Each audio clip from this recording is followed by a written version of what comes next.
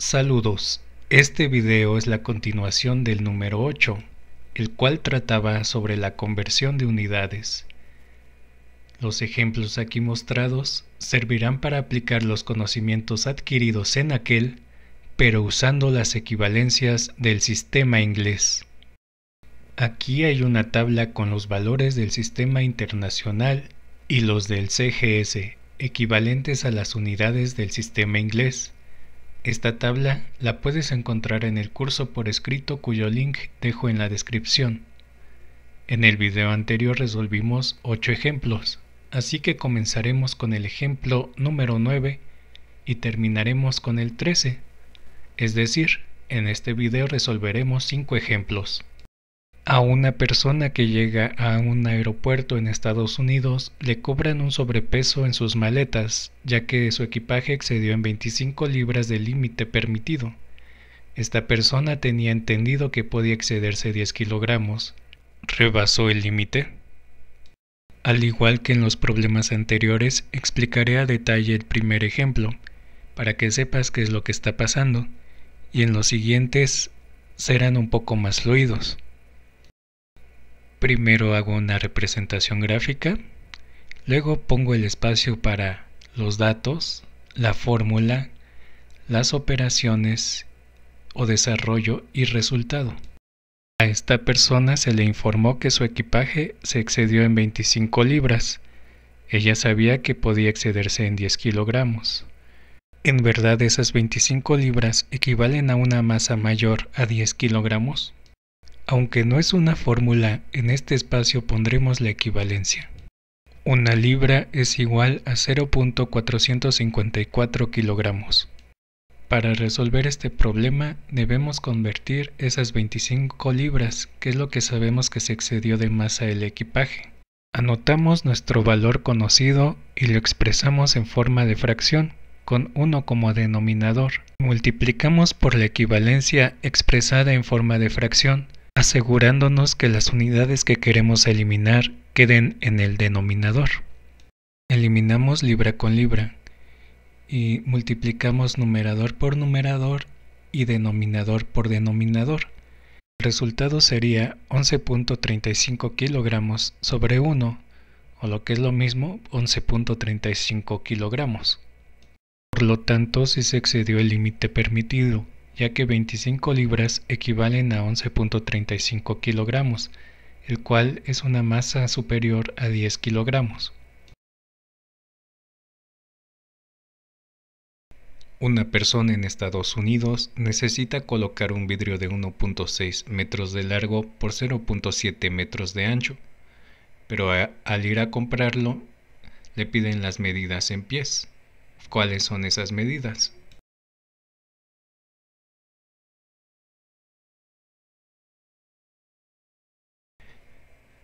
Originalmente tenemos las medidas en metros, pero nosotros las necesitamos en pies.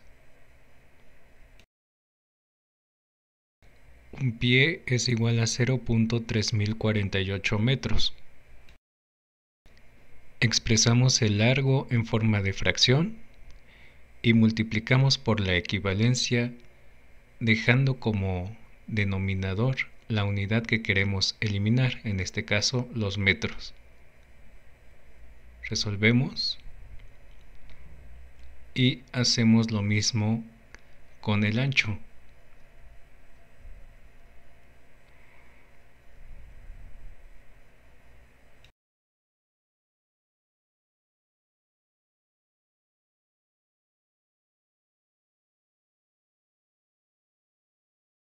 Por lo tanto, el largo de 1.6 metros equivale a 5.25 pies y el ancho de 0.7 metros equivale a 2.3 pies.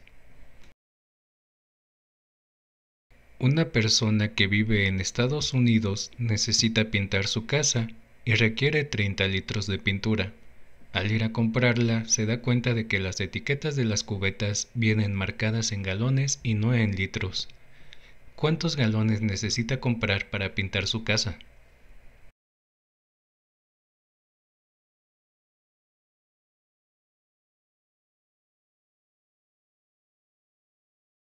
Esta persona sabe que necesita 30 litros para pintar su casa, pero ¿a cuántos galones equivalen esos 30 litros? Un galón es igual a 3.785 litros. Recuerda que siempre debes tener presente qué unidades quieres convertir y cuáles quieres obtener. En este caso, ponemos nuestros 30 litros en forma de fracción y los multiplicamos por la equivalencia dejando los litros en la parte de abajo para poder eliminar con los litros que tenemos originalmente y que nos quede únicamente lo que queremos obtener, en este caso galones.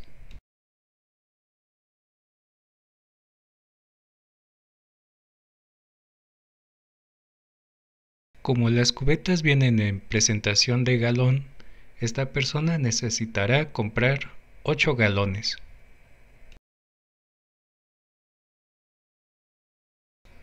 Una persona viaja en su automóvil de Estados Unidos a México. Su auto solamente marca millas por hora y entrando a México ve que en la carretera el límite de velocidad es de 110 km por hora. ¿A qué velocidad en millas por hora necesita conducir para que no lo infraccionen? Aunque en este caso estamos trabajando con una magnitud derivada, es decir, la velocidad, solamente vamos a convertir la parte correspondiente a la distancia, dado que la parte correspondiente al tiempo es la misma. Una milla es igual a 1609 metros, o lo que es lo mismo, 1.609 kilómetros. Expresamos la velocidad máxima conocida en forma de fracción, 110 kilómetros sobre una hora, y multiplicamos por la equivalencia dejando las millas en el numerador y los kilómetros en el denominador para así poder eliminar. Multiplicamos numerador por numerador y denominador por denominador. Resolvemos y queda esto. 68.36 millas por hora. Disculpen que allí se me pasó las unidades, pero siempre las tienen que escribir. Por lo tanto, esta persona necesitará conducir máximo a 68 millas por hora. A una madre primeriza le dice el pediatra que le dé 2.5 onzas líquidas de leche de soya a su bebé después de los 6 meses, pero el biberón solo marca en mililitros. ¿Cuál es la equivalencia? Bueno, aquí puedes ver una de las cuestiones en las que debes tener cuidado, ya que existen tanto onzas líquidas como onzas de masa. Las onzas líquidas se abrevian como FLOZ y las onzas de masa se abrevian como OZ.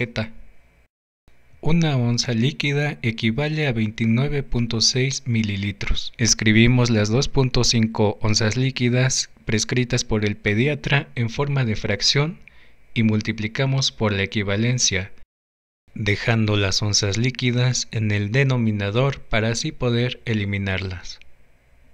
El resultado es 74 mililitros.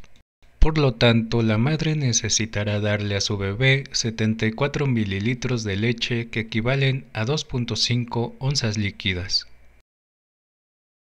Eso es todo por hoy. Me gustaría que me dejaras un like o dislike para saber si te ha gustado o no este video, así como alguna sugerencia en la caja de comentarios. Hasta pronto.